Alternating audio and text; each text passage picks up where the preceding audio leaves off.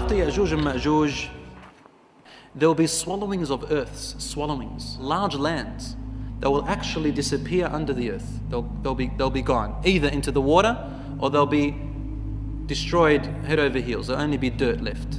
Earthquakes in the east and the west and in Jazirat al-Arab. These are massive earthquakes. The whole world will feel them. One in the east and one in the west and one in the Arabian Peninsula. And the Prophet ﷺ tells us in the hadiths, سيكون بعدي خسف بالمشرق. After me, after the Prophet ﷺ's death, there will be a swallowing of earth in somewhere in the eastern region, eastern to Medina. وخسف بالمغرب and in the west of Medina, somewhere there. وخسف في جزيرة العرب and there will be also a swallowing of the earth in the lands of the Arab, the Arab Peninsula. So Allahu A'lam, what will happen in that time. And there will be righteous people who also go in these landslides, if you like. There'll be righteous people, but that's because, listen to what the Prophet ﷺ said. He said, إِذا, إذا أكثر أهلها الخبث one companion said, Ya Rasulullah, the earth will swallow the people, even if among them there are righteous people. He said, Yes, إِذَا أَكْثَرَ أَهْلُهَا الْخَبَث If its people start to do too much immorality and indecency and all of those things. And we, we, we have that today. You can see it a lot in the eastern regions, you can see it a lot in the west. You know, homosexuality and prostitution, all those other khabath. People no longer believe in God and so on and so forth. Then there will be smoke. Smoke will come and it will fill the whole sky. Dukhan is a type of smoke that will happen. We don't know much about it other than there will be a smoke. This is another major sign. Allah said in the Quran, فارتقب فارتقب يوم تأتي السماء بدخان مبين يغشى الناس هذا عذاب أليم Which means wait until the day comes when the sky will be filled of clear smoke, everybody in the world will see it. Mubin, everywhere. يغشى الناس or يغشى الناس هذا عذاب أليم. يغشى الناس meaning the smoke will cover all the people. يغشاهم أجمعين. It will cover all the people of the earth. هذا عذاب أليم. This will be a day of torment. And this is also one of the signs of the closeness of the last hour. Also, among the major signs before the end of the world would be, as we said last week, the rising of the sun from where it sets.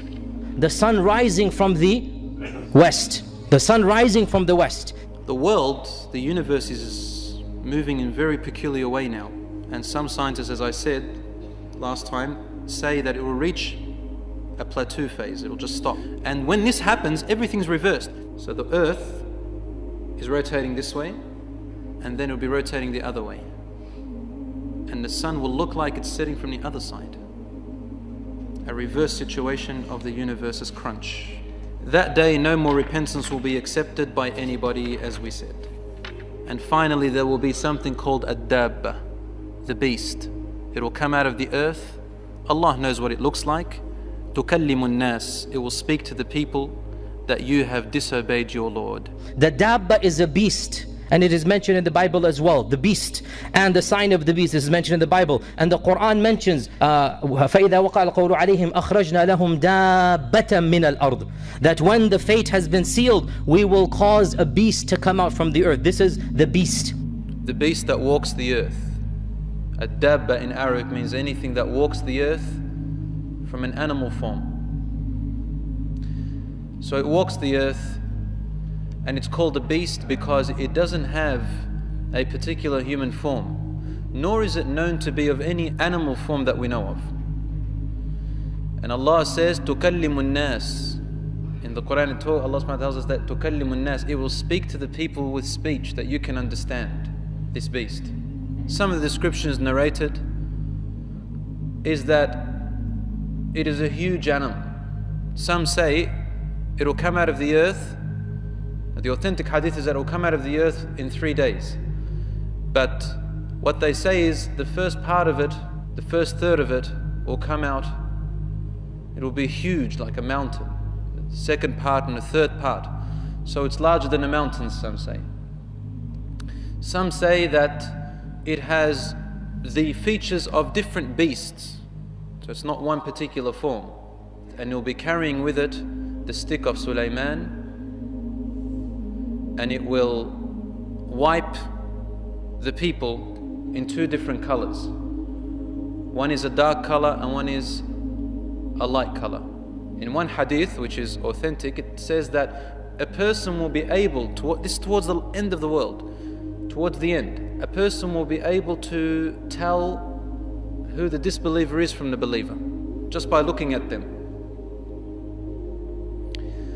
And Allah tells us in the Quran, تُكَلِّمُ النَّاسِ أَنَّكُمْ بِآيَاتِ اللَّهِ It will speak to the people that you lied about the verses of your Lord.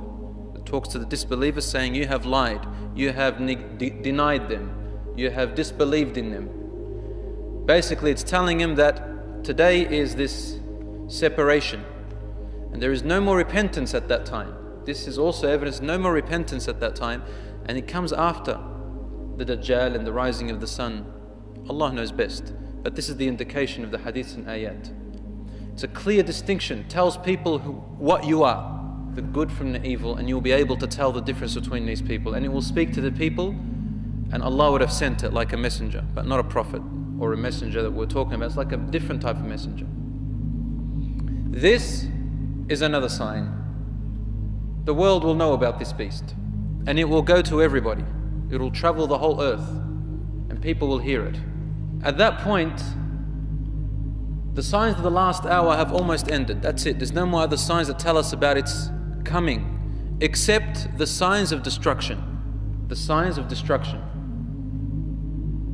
The rumbling and the earthquakes. This, these are the signs that once they happen, that's it. The world is, is going to end and be destroyed.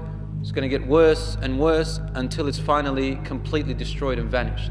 Step by step, knowledge will diminish and fade away on earth.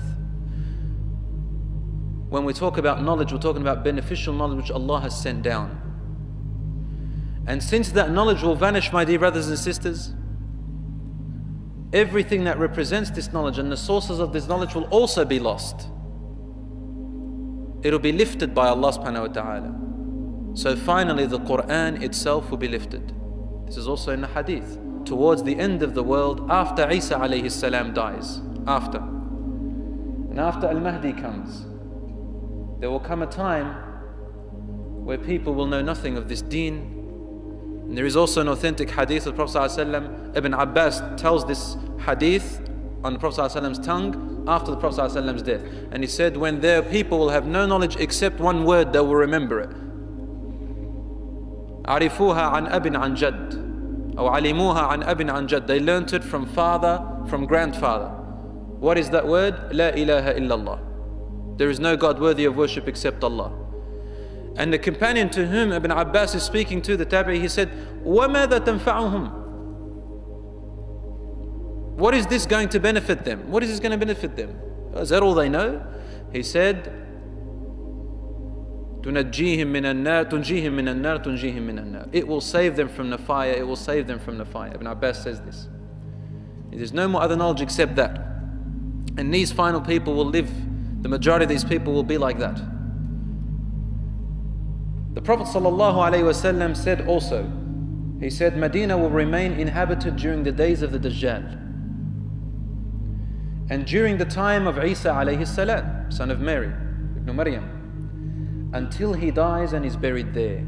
Yani Isa alayhi salam will be buried in Medina. Then it will be destroyed. Medina will be destroyed. Kharab al Medina. You'll find this hadith in Muslim and also in Ahmad, Sunan Ahmad, authentic hadiths. And the destruction of Medina, as our ulama say, it is not because the people will actually break it. It's not physical destruction. But destruction, kharab al-Madinah means the knowledge and the religion in there, there will be no longer people representing it in there. They'll either die or would have left. Umar ibn al-Khattab said, I heard the Prophet ﷺ say, a rider will go around Medina and say, there used to be many Muslims here. It'll become history. This is in Sunan Ahmad. At the end of time, towards that era, the Prophet ﷺ tells us about a very strange man who will rule the earth, an Abyssinian king will rule the earth. His name, as the Prophet ﷺ describes him. It's a name and a description. Dhus Suwayqatayn means the man of the peculiar looking shins. They're thin and they're short. He will come from Abyssinia, Al Habasha, Ethiopia. And he will destroy the Kaaba, not the Medina, the Kaaba itself, the holiest symbol of the Muslims today. He will destroy the Kaaba in order to steal its treasure and clothes covering. What I understand from that is the covering they have on it today. The Kaaba is the ancient building which was built by Ibrahim alayhi salam and whose foundations were laid by Adam. This is the hadith of the Prophet. Allah subhanahu wa ta'ala says in the Quran that it is reported from Ka'b al-Ahbar that Dhus Suwayqatayn will first emerge at the end of Isa alayhi salam's time. Allah will send Isa alayhi salam at the head of a vanguard of between 7 and 800. While they are marching towards Dhus Suwayqatayn, it is a special army of about 500, 800 special, which Isa alayhi salam will take with him to fight Dhus Suwayqatayn. Allah will send a breeze from the direction of Yemen, which will take the soul of every believer. Only the worst of people will be left, and they will begin to live like animals or copulate like animals. Ka'b who said, At that time the hour will be close at hand. Now that we know this, Dhus Suwayqatayn will come and grab the Kaaba, break it brick by brick, and no one will be able to stop him. No one will stop him because there'll be no one to stop him. Either he'll be so powerful, but Allahu Alam about that, but what the hadiths indicate is that there will be no believers on that time. When that happens, my dear brothers and sisters, and the Kaaba is destroyed, therefore, no believers, muwahid. You heard the hadith earlier that Allah subhanahu wa ta'ala will send a breeze before the Muslims reach the Suwayqatayn and every believer. In another hadith, Prophet said, Every believer, muwahid, who is a monotheist, believes in only one God and doesn't make any shirk, will die. Will die peacefully from this breeze. And only the disbelievers and the tyrants and the criminals will stay on earth. The Kaaba is destroyed. The symbols of Islam are destroyed. The Quran has been lifted. There is no more Islamic knowledge. What's left? Ad-dunya, the world. And the Prophet ﷺ said, Ad-dunya mal'una. The dunya is cursed. Mal'unun ma fiha. Everything in it is cursed, illa dhikrullahi wa ma wala. Except for the remembrance of Allah and whoever are the allies of the remembrance of Allah. So the beasts and creatures are allies of the remembrance of Allah. Because Allah says in the Quran, there isn't anything on earth other than the humans and jinns, except that it glorifies in the name of Allah, but you cannot understand their praise. And other verses in the Quran, Allah talks about mountains and trees and all that that glorify Allah subhanahu wa ta'ala. The point is, Allahu A'lam, what will happen to the animals? Will they die before the end of time? Allah knows best. But the point is, everything on earth is cursed that does not follow the allegiance of the remembrance of Allah subhanahu wa ta'ala. And the final sign before the day of, of, of destruction is the fire. An-nar. Rasul tells us. You find this hadith in Sahih Muslim, you find it in Bukhari, you find it in almost all the books of hadith, six books, major books of hadith. A fire will come out. From where exactly we don't know, but it comes from towards uh, the uh, the northern part of the of the world, and it will spread through the world. Could be acid, could be something from the earth, volcanic eruptions. Only Allah knows exactly. The point is, it burns. And the people of the world will run away from that fire because it will take over their homes and lands. It's no longer livable. Can't live there anymore. Is it a meteorite that will hit the earth? Allahu A'lam. Only Allah knows exactly. The point is, it's now. And it will gather the people. Rasul said, it will gather the people to their gathering, mahsharihim. Some scholars say this means that it will gather them to the place where they will be resurrected on a day of judgment. That's the place on earth. Some other scholars say no, it will gather them together in a place, in one place, and that's where the world will end, they'll all die there. Allah subhanahu wa ta'ala knows best. Then the first moments of the destruction of the world begins.